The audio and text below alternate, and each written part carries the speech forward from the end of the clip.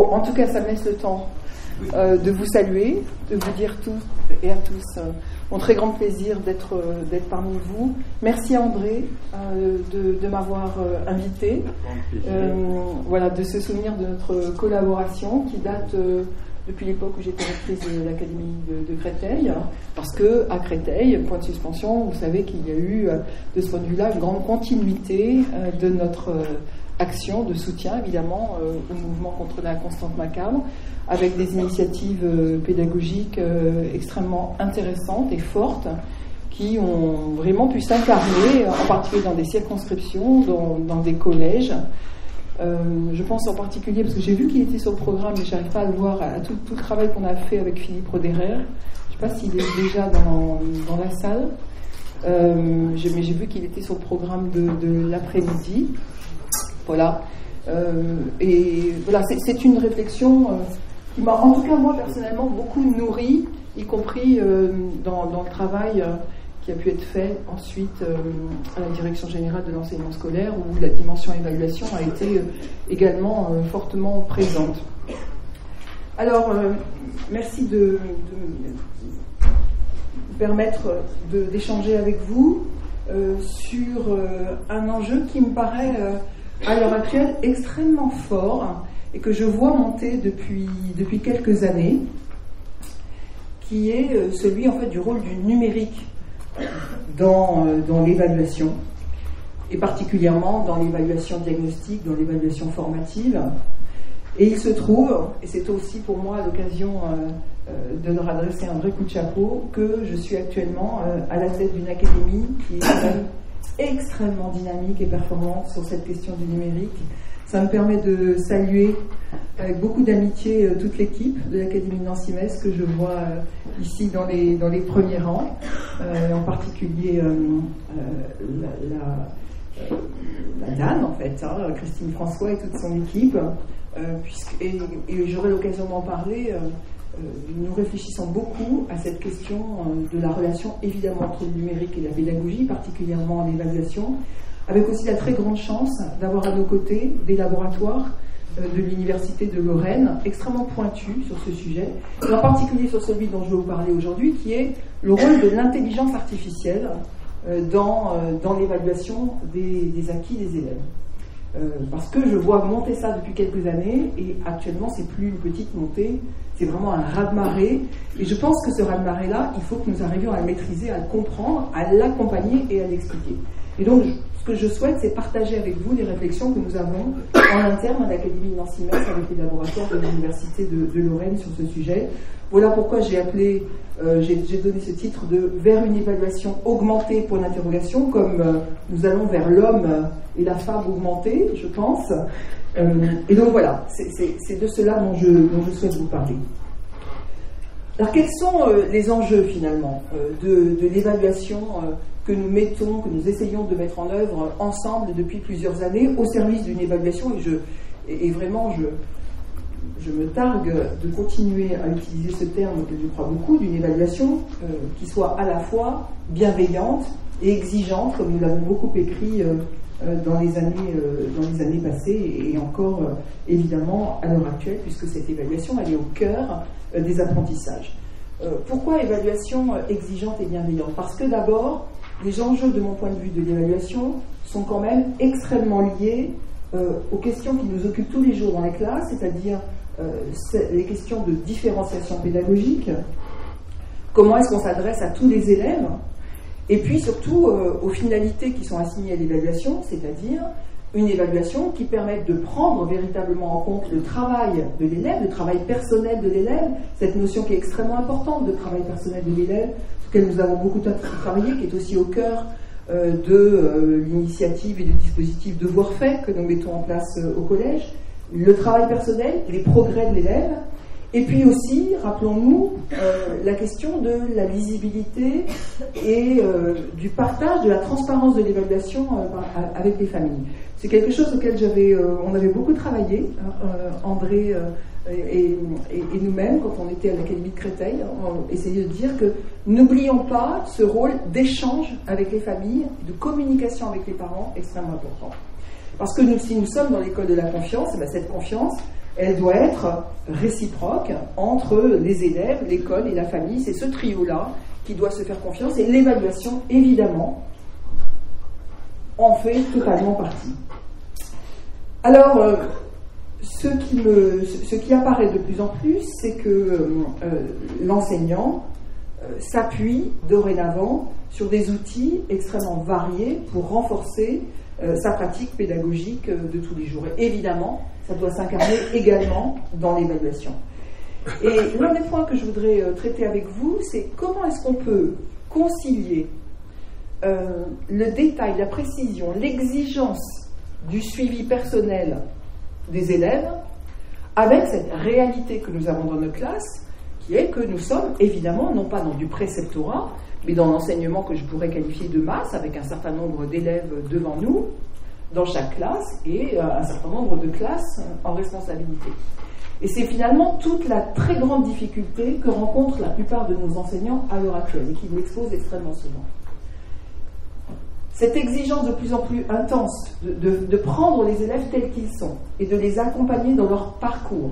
Toute la logique des cycles qui était conçue justement, qui est conçue dans, ce, dans cet esprit-là. Et pour autant, oui, nous sommes, je le répète, dans un enseignement qui est l'enseignement collectif, un enseignement de masse, qui a d'ailleurs son intérêt, j'en reparlerai à la fin de l'exposé, sur la dynamique collective. C'est pas seulement un poids qui pèse sur nos épaules, c'est aussi une chance. Parce que nous sommes dans un contexte social et que cette socialisation par l'école, c'est aussi une des missions prioritaires de l'école en termes d'éducation, en termes de citoyenneté, en termes de vie collective. Alors, lorsque on pense euh, au numérique et à l'informatique, et lorsque euh, on, a commencé à regarder comment le numérique finalement euh, s'immisçait dans nos classes, eh bien évidemment, on a, aussi, on a assez vite penser au rôle que prenaient les machines, les machines, les ordinateurs dans nos classes. Et, finalement, au, départ des premières réflexions des outils informatiques, on a tous connu les plans informatiques, etc., on voit bien que la première acception de ce terme-là dans l'enseignement a plutôt correspondait plutôt finalement à un synonyme de mécanisation, de robotisation, de déshumanisation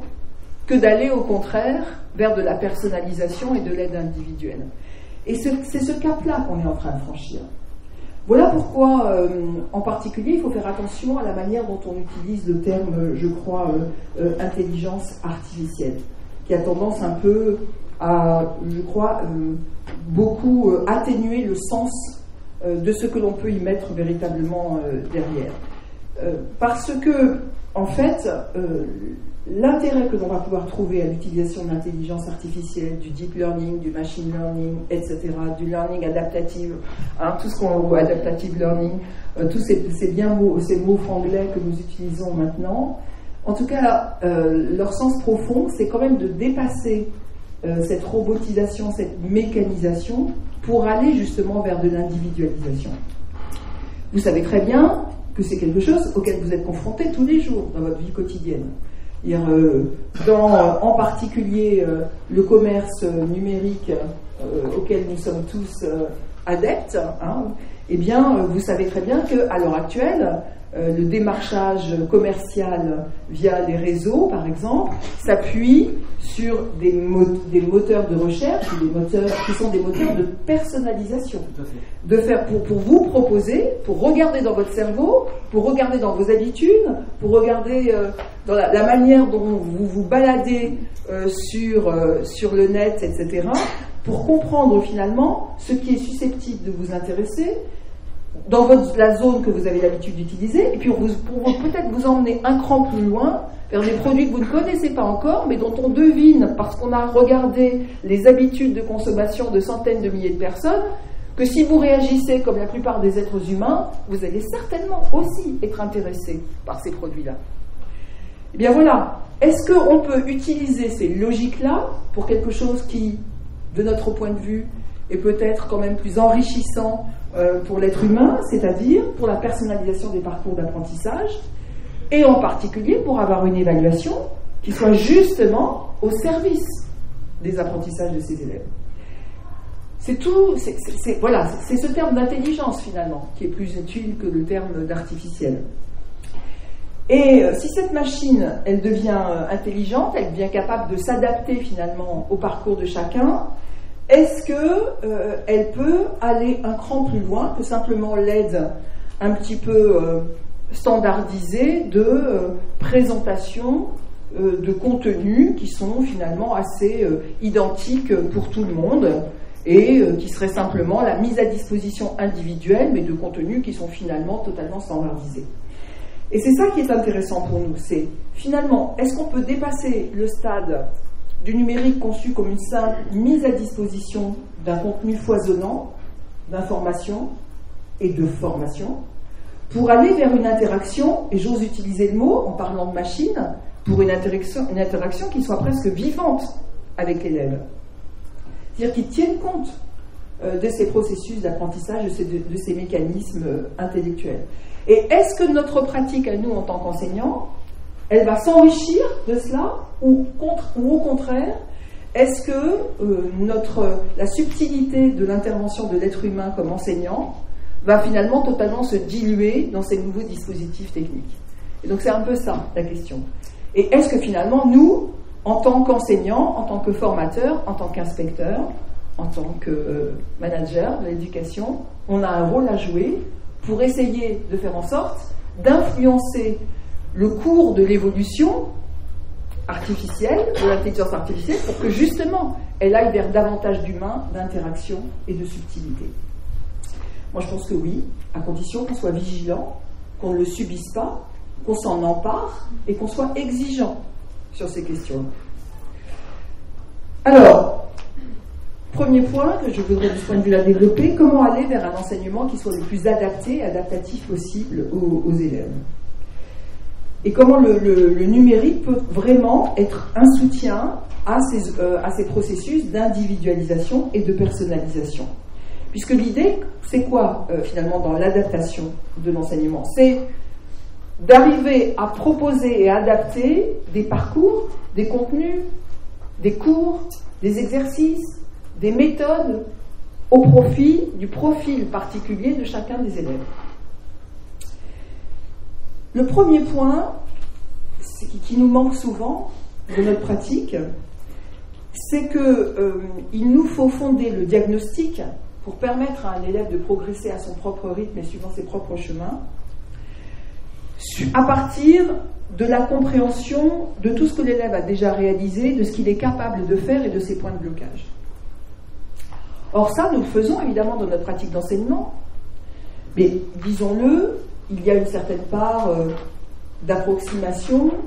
il y a une certaine part aussi euh, de manque de temps pour être capable euh, d'aller vraiment percer à jour les mécanismes de pensée de chaque élève. C'est quand même quelque chose qui est extrêmement complexe et chronophage, et pour lequel en général nous n'avons pas véritablement les capacités de le faire. Ce qui est intéressant dans l'utilisation de l'intelligence artificielle, c'est qu'en fait, l'intelligence artificielle, et donc euh, la mémoire numérique, on va dire, est capable d'explorer en un temps extrêmement court, finalement, des centaines et des milliers euh, de processus itératifs de raisonnement et de réflexion des élèves et non pas à partir d'un seul élève, mais à partir de milliers, de centaines, de dizaines de milliers et de centaines de milliers de cas. Et que euh, ce qu'un être humain ne pourrait évidemment pas faire, le numérique est capable de le faire, et surtout le numérique est capable de présenter ça sous forme d'une synthèse lisible d'éléments de diagnostic qui, euh, à l'évidence, ne peut pas remplacer la décision pédagogique, et je me permets d'insister sur ce point, mais qui est une aide incommensurable une assistance à la prise de décision pédagogique. Donc c'est ça qui est extrêmement intéressant. Et je pense que euh, Monsieur le ministre a dû avoir l'occasion de vous en parler euh, juste avant. Euh, le travail qui est réalisé, par exemple, à l'heure actuelle, autour des évaluations de CP, de CE1, de 6e, de seconde,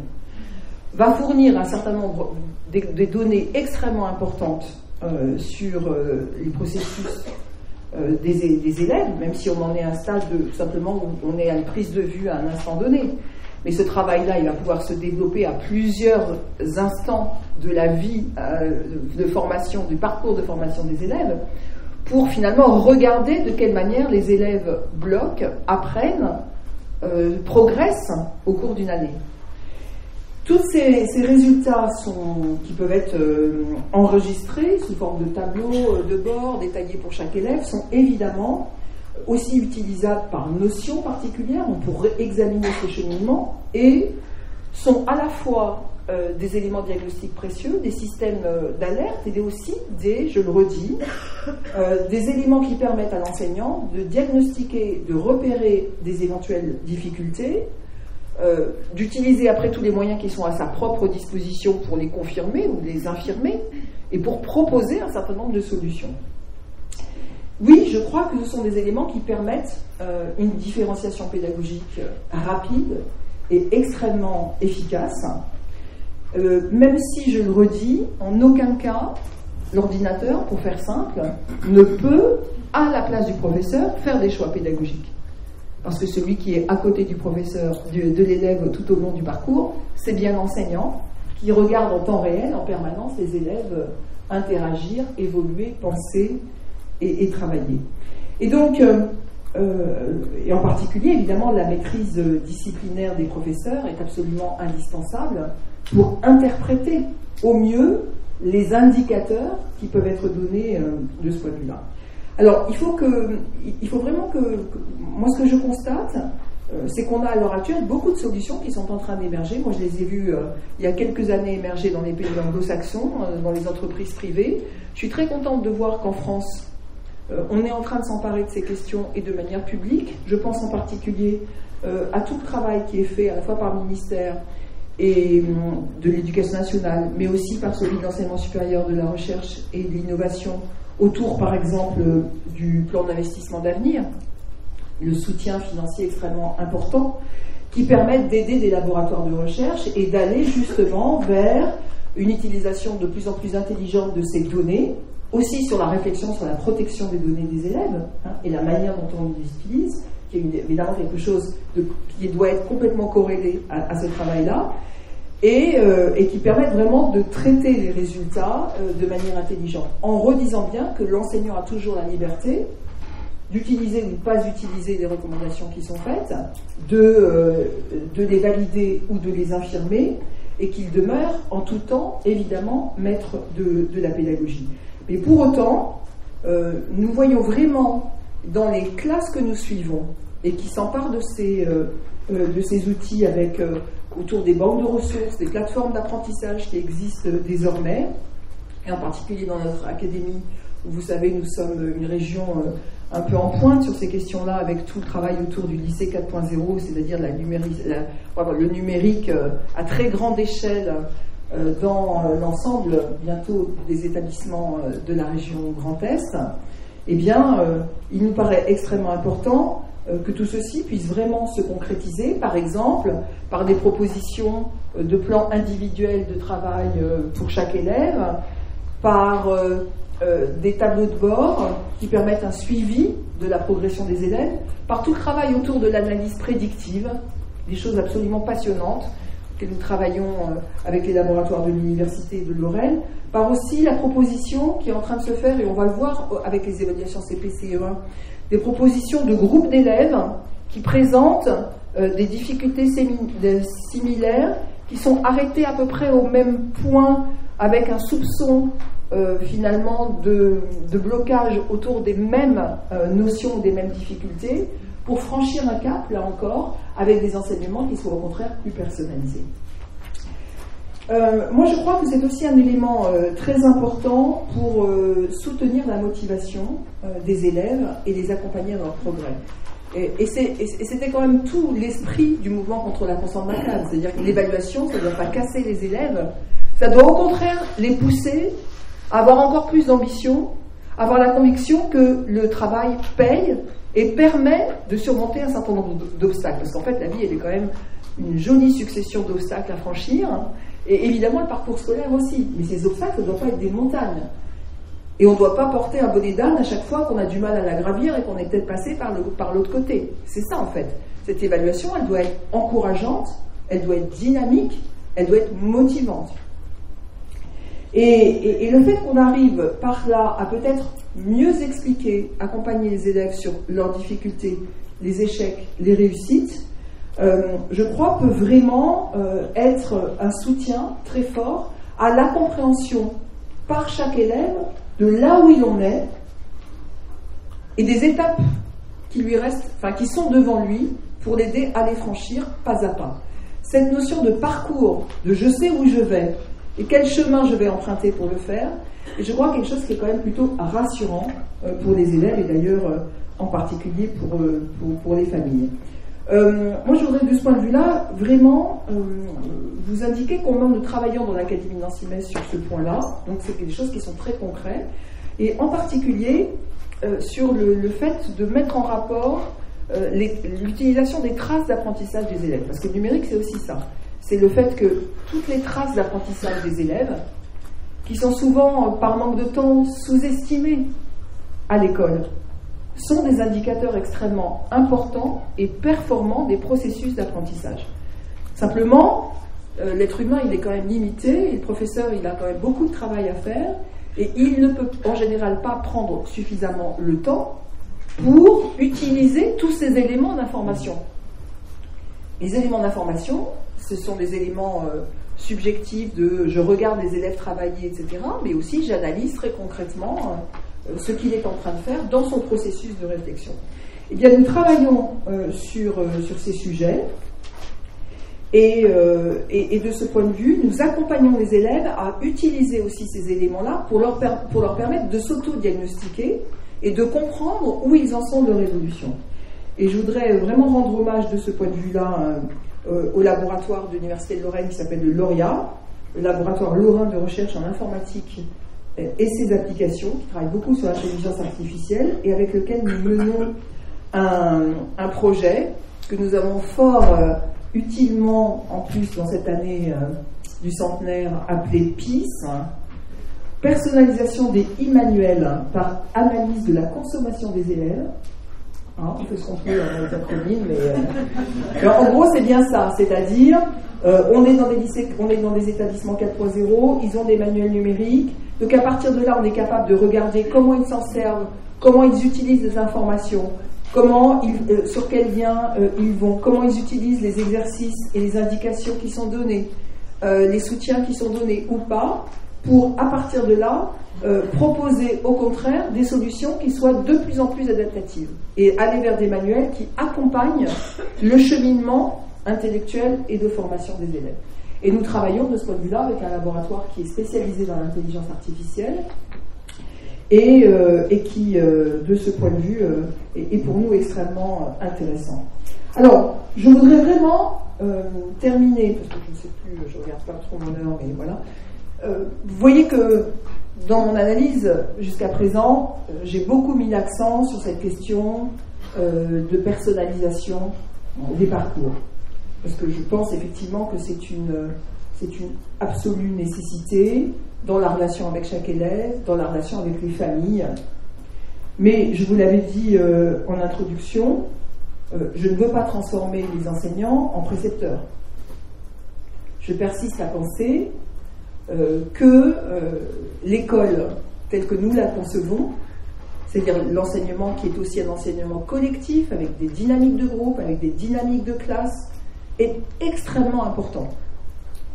Et je ne veux pas transformer en cours particulier les salles de classe, absolument pas. Je pense qu'il faut avoir au contraire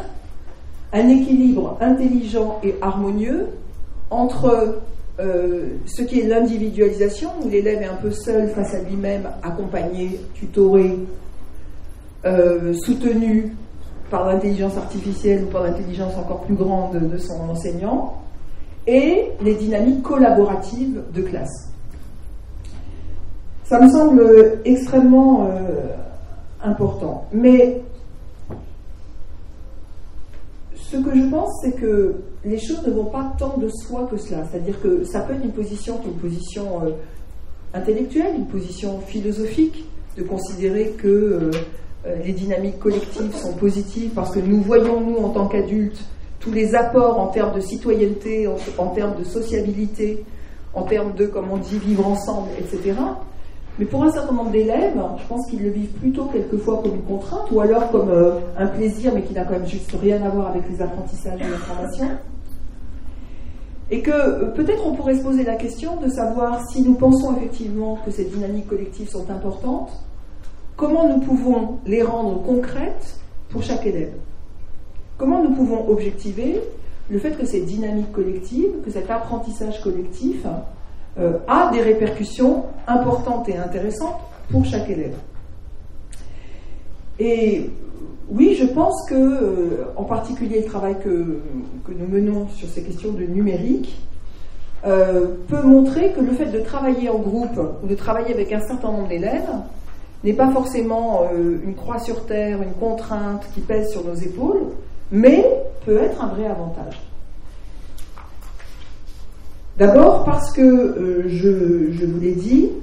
euh, il y a cette question du fait que le numérique peut aider à euh, faire travailler ensemble des groupes d'élèves qui ont des besoins convergents. Donc des groupes de besoins, très clairement. Et ça, c'est quand même extrêmement intéressant. Et ça peut, à certains moments, pédagogiquement, avoir une vraie utilité et apporter des choses très positives. Après, je pense aussi qu'il est très intéressant de pouvoir faire travailler ensemble des élèves qui ont au contraire des besoins qui sont complémentaires. Et cette question, euh, c'est quelque chose qu'on va beaucoup reprocher encore sur les réseaux sociaux. Je reçois, je reçois beaucoup euh, de mots gentils, mais aussi, des mots qui sont moins encore, et où on me reproche des bouts de phrases euh, que j'ai pu dire à une époque et qu'on sort de vidéos, d'interviews, etc., etc., ou par exemple, on me rappelle que euh, j'aurais dit à un moment donné que euh, des élèves pouvaient très bien, qu'on n'avait pas besoin de professeurs, on n'avait pas toujours besoin de professeurs pour apprendre. Alors c'est vrai que je l'ai dit, je l'ai dit dans une grande, grande phrase qui disait en particulier que je crois qu'à certains moments, les dynamiques collaboratives entre élèves peuvent être extrêmement fructueuses. Et que quelquefois, quand on met ensemble des élèves qui ont des besoins complémentaires, des acquis différents, le fait d'avoir par exemple à reformuler sa pensée ou à expliciter ce que l'on pense avoir compris à un autre élève est un exercice intellectuel extrêmement formateur. Donc oui, je pense que sous l'œil bienveillant euh, de l'enseignant, qui s'assure quand même de la cohérence de ce qui se passe dans la classe et de la validité des informations qui sont échangées, quand même, oui, euh, il peut y avoir un intérêt extrêmement important de formation et de mutualisation entre élèves. Et, ça, ça me paraît euh, extrêmement important et on voit bien euh, que ça demande évidemment des compétences spécifiques aussi pour l'enseignant, au contraire. Un, vrai travail qui est celui d'avoir repéré des groupes que l'on pourrait apparier et qui pourraient utilement monter finalement tout, cela, tout cela vers le haut. Et donc ça, c'est euh, extrêmement intéressant. Et vous savez, c'est tout ce que les, anglo-saxons appellent euh, le learning by teaching, c'est-à-dire qu'on apprend en enseignant. Moi, je trouve que c'est quelque chose qu'on vit nous-mêmes tous les jours. C'est aussi à un moment donné, quand on a envie de s'exprimer devant un auditoire, qu'on se met à réfléchir à certaines questions qu'on avait juste euh, un peu vaguement évoquées dans sa tête, mais j'avais pris le temps de formaliser, par exemple. Mais je pense que ça, fonctionne bien, ces, dynamiques-là, à tous les âges de la vie. Euh, voilà, je voudrais vraiment euh, conclure euh, en vous disant que je ne pense pas du tout que le numérique et l'évaluation augmentée, c'est la panacée universelle, pas du tout. Mais je pense qu'effectivement, dans la panoplie des outils qui sont mis à disposition des enseignants, cela peut rendre le numérique plus intelligent que ce que l'on en fait quelquefois, c'est-à-dire au service d'une véritable pédagogie pensée, imaginée pour tous les élèves, mais aussi pour chacun des élèves, je pense qu'il y a une vraie dimension de communication, y compris avec les élèves, c'est-à-dire de, dimension de je fais attention spécifiquement à toi, je te prends en compte tel que tu es, et je te propose un chemin, un parcours euh, d'amélioration continue, euh, et je crois que tu es capable de progresser. Donc cet aspect confiance, elle est véritablement présente euh, dans cette, dans cette dynamique-là. Et puis, il me semble que cela peut vraiment être une aide pour les enseignants pour euh, en, leur permettant finalement de profiter d'environnements qui soient plus intelligents que la simple mise à disposition euh, de pages PDF euh, sur un visioprojecteur, hein, mais d'avoir des ressources pédagogiques qui soient euh, innovantes, des parcours qui soient soit prédéfinis, soit qu'ils puissent complètement remodeler, vous savez bien, avec cette logique de capsule, avec cette logique de reconstruction, et qui permettent véritablement à l'enseignant eh bien, d'organiser sa classe comme il l'entend, et cette classe-là peut-être pas de la même façon que la classe d'à côté. Euh, ça, ça me paraît important. Je reste aussi persuadée, c'est quelque chose que j'ai souvent dit aux enseignants, c'est toujours pareil, quand on parle, on n'est pas toujours forcément compris, mais que cela peut libérer euh, du temps précieux pour les enseignants sur des tâches qui, à mon avis, sont quelquefois, comment dirais-je, assez chronophage dont je ne suis pas persuadée qu'elle soit extrêmement productive. Je pense en particulier à celui de la conception ex nihilo de devoir, d'exercice ou de correction. Moi, je sais pas, c'est une des choses qui m'a le plus désespéré, je pense, dans ma vie d'enseignant. Euh, les heures passées à corriger des copies, auquel on croit parce qu'on le fait, on se dit euh, je vais faire vraiment une correction personnalisée euh, pour expliquer à l'élève, etc. Et de voir à quelle manière l'élève regarde juste sa note, regarde s'il est avant ou derrière son petit copain euh, là, met ça gentiment dans son cartable, n'écoute absolument pas la correction et tout ça est fini. Je dis souvent aux enseignants que peut-être par rapport aux heures, et je connais les heures innombrables qu'ils passent à corriger tout cela, bien peut-être que euh, ce temps-là serait bien plus utilement euh, euh, employé justement à accompagner les élèves lorsque ils sont dans des phases d'évaluation formative et des, des, parcours qui sont beaucoup plus individualisés et pour lesquels l'enseignant, en regardant simplement l'élève faire, répondre, se tromper, se corriger, avancer vers d'autres choses, finalement, acquiert, je crois, bien plus d'informations et a beaucoup plus d'échanges, finalement, avec l'élève que par euh, nos processus euh, très classiques. Même si je suis persuadée que de. C'est toujours pareil, hein, j'ai une petite phrase à sortir en disant la rectrice de Nancy Metz euh, veut la suppression de toutes les, copies, l'écrit, la correction, etc. Non, j'ai pas dit ça non plus. Euh, je suis aussi persuadée qu'à certains moments, vous, vous avez bien compris que dès le départ, je ne parlais que d'évaluation diagnostique et formative. Je suis bien convaincue qu'il faut des moments où euh, on est seul face à sa copie et on fait l'effort d'écrire, d'organiser sa pensée, de faire un plan, dans une copie euh, de science, euh, de réfléchir à l'argumentation et, voilà, que l'on utilise, etc. Maintenant, je fais attention à ce que je dis. Hein. J'ai vieilli quand même depuis quelques temps. Euh, voilà. Ce que je voudrais vous dire, c'est que je ne crois pas du tout que l'intelligence artificielle soit un outil magique, absolument pas. et, je suis absolument convaincue que de ce point de vue-là, euh, tout ceci n'a pas de sens si on ne s'appuie pas sur euh, les labos universitaires, euh, tous les éléments de recherche, sciences cognitives, mais pas seulement sciences cognitives.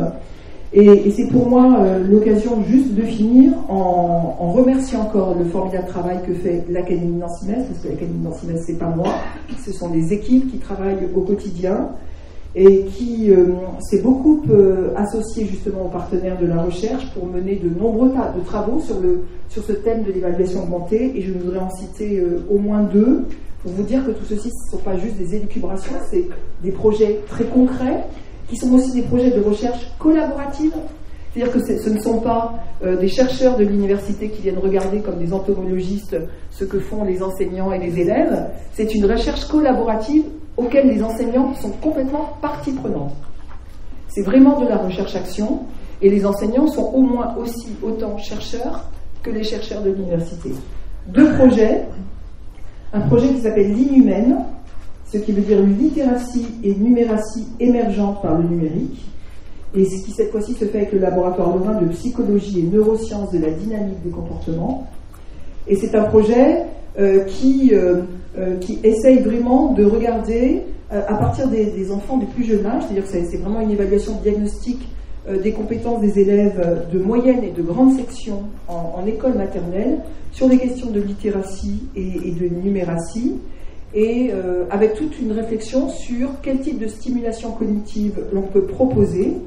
aux élèves à partir du moment où on a diagnostiqué des difficultés spécifiques dont on soupçonne qu'elles peuvent entraîner des freins aux apprentissages fondamentaux. donc c'est extrêmement intéressant et ce sont des élèves que, que, nous, que nous suivons sur plusieurs années de suite pour regarder avec les chercheurs ce qu'il en est des processus que, nous travaillons. Et euh, un, projet avec euh, l'Institut de recherche en informatique de Toulouse qui s'appelle Biformative, Biformative, et qui est un projet euh, qui est né ici. Et c'est pour ça que je voulais finir sur ce, sur ce thème, cher André, puisqu'il est né lors d'un colloque de, de l'évaluation par, par contrat de confiance autour d'un atelier euh, où il y a eu en fait euh, un rapprochement entre équipes à partir de constats et de volontés partagées entre l'Académie Nancy-Metz et les chercheurs de Toulouse. Et ça ne se serait pas fait si, les équipes ne s'étaient pas rencontrées ici. Et, et l'idée, c'est de travailler à la conception, au déploiement et à l'évaluation évidemment d'un environnement numérique qui justement doit favoriser la conception d'évaluation formative. Et donc nous sommes vraiment très concrètement en train de travailler sur ce projet. Et l'idée, c'est comment faire en sorte que les évaluations que l'on peut penser autour du numérique soient sur une dimension d'engagement? C'est-à-dire comment est-ce qu'on peut mesurer